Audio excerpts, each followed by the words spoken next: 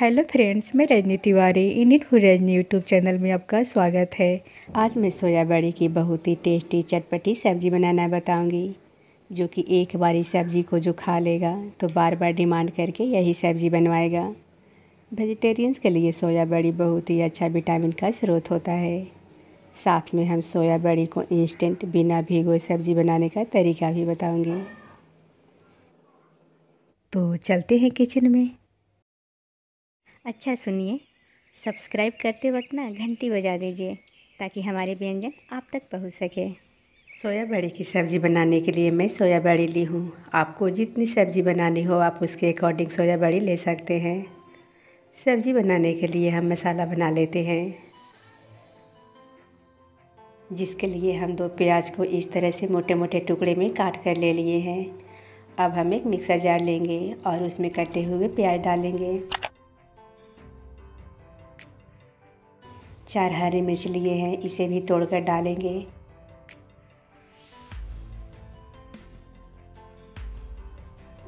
एक इंच अदरक के टुकड़े को इस तरह छोटे टुकड़े में काट लिए हैं। एक गट लहसुन को हमने छील कर ले लिया है। एक चम्मच काली मिर्च लेंगे और जीरा लेंगे। अब हम क्या करेंगे कि इसमें बिना पानी डाले इसे पीस लेंगे। प्याज में मॉइस्चर होता है, उसी से ये अच्छे से पीस जाएगा।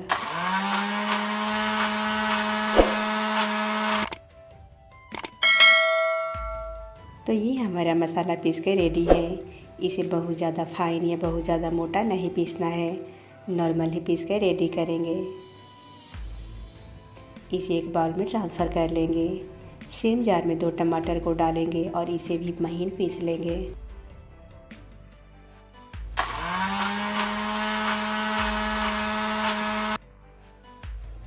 टमाटर का पेस्ट बनकर रेडी है। इसे एक बाउल में ट्रांसफ़र कर लेंगे। हमने छः से सात बॉयल किए हुए आलू लिए हैं। इसे छोटे टुकड़े में तोड़ लेंगे।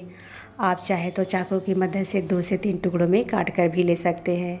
तो अब हम चलते हैं सब्ज़ी बनाने के प्रोसेस में।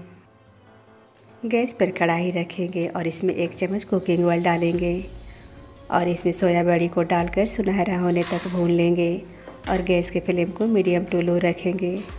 इसे लगातार स्टर करते हुए भूनेंगे। इसे भूनने में ज़्यादा टाइम नहीं लगता। बस कुछ ही मिनटों में ये भून कर रेडी हो जाता है। यहाँ पर एक बाउल में एक गिलास पानी लेंगे और इसमें आधा चम्मच नमक डालकर मिला लेंगे और इसे साइड में रखेंगे। सोया बड़ी भून कर लाल हो चुका है तो इसे हम कढ़ाई से बाहर निकालेंगे और डायरेक्ट नमक वाले पानी में डालेंगे। इसे डालने के साथ ही ये फूल कर साइज़ में डबल हो जाता है। इस तरह से हम बिना भिगोए भी सोया बड़ी की कोई भी रेसिपी आसानी से बना कर रेडी कर सकते हैं। आप देख सकते हैं, ये एक से दो सेकेंड में ही ये फूल कर साइज़ में डबल हो चुका है। तो अब हम क्या करेंगे कि इसे निचोड़ कर पानी से अलग कर देंगे। नमक वाले पानी में डालने से ये खाने में फीके नहीं लगते। सेम उसी कढ़ाई में दो चम्मच सरसों का तेल डालेंगे और इसे गर्म कर लेंगे। तड़के के लिए एक तेज़पत्ता, बड़ी इलायची, दालचीनी, दो छोटी इलायची, लौंग और जीरा लिए हैं। तेल में डालकर चटका लेंगे।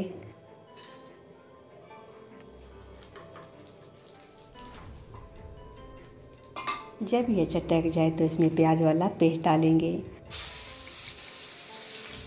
और इसे स्टर करते हुए गोल्डन होने तक भून लेंगे। लीड से कवर कर देंगे और बीच बीच में चलाते रहेंगे।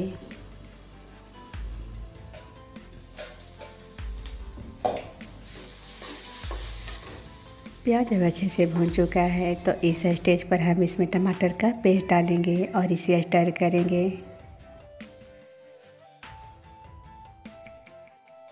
अब हम इसमें कुछ सूखे मसाले डालेंगे, जिसमें एक चम्मच धनिया पाउडर, कश्मीरी लाल मिर्च पाउडर, हल्दी पाउडर और टेस्ट के अकॉर्डिंग नमक लिए हैं। अब इन सारे मसालों को डालकर भून लेंगे।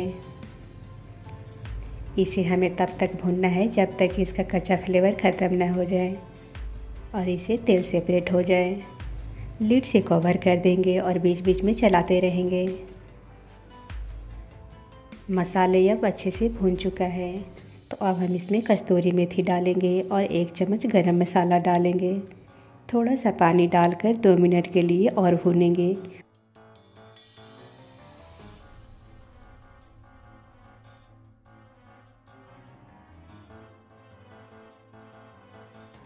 और इसे लीड से कवर कर देंगे। गैस के फ्लेम को मीडियम टू लो रखेंगे, जिससे मसाले बिना जले अच्छे से भून जाए। दो मिनट बाद आप देख सकते हैं मसाले कितने अच्छे से भून चुका है। इससे तेल भी सेपरेट हो चुका है। तो इस स्टेज पर हम इसमें सोया बड़ी डालेंगे। आलू को भी हम तोड़कर भून लिए थे, जो कि रिकॉर्ड नहीं हो पाया। इसे भी डालकर मसालों के साथ दो मिनट के लिए भून लेंगे जिसे मसालों का एक अच्छी सी कोटिंग सोया बड़ी और आलू पे लग जाए।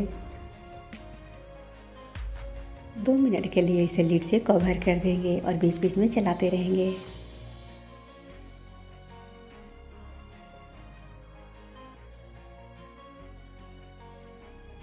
सोया बड़ी और आलू मसाले के साथ अच्छे से भून चुका है। तो इस स्टेज पर हम इसमें ग्रेवी के लिए पानी डालेंगे। पानी को गर्म करके ही डालें, जिससे सब्ज़ी का टेस्ट अच्छा रहता है। अब हम इसे मिक्स करेंगे और लीड से कवर करके मीडियम फ्लेम पर पाँच मिनट के लिए और कुक करेंगे।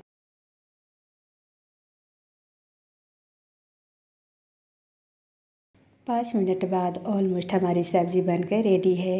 इसकी थिकनेस बिल्कुल परफेक्ट है। तो अब हम गैस के फ्लेम को ऑफ़ करेंगे और पाँच से छः मिनट रुक कर इसे सर्व कर लेंगे।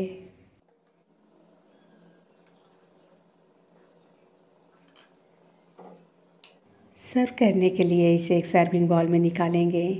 आप इस सब्ज़ी को पूड़ी, चपाती या दाल चावल के साथ खा सकते हैं। ये खाने में काफ़ी स्वादिष्ट लगता है। तो आप भी बनाइए, खाइए और अपना एक्सपीरियंस इंडियन फ़ूड रजनी के साथ शेयर करिए। मिलते हैं एक नई रेसिपी के साथ। थैंक यू नीचे दिए गए सर्कल पर अभी क्लिक करें। अगर आपने मेरा चैनल सब्सक्राइब नहीं किया तो स्क्रीन पर आपको मेरी और दो मज़ेदार रेसिपी दिख रही होगी। आपको जो भी पसंद है उस पर क्लिक करें। मैं वहाँ आपका वेट कर रही हूँ।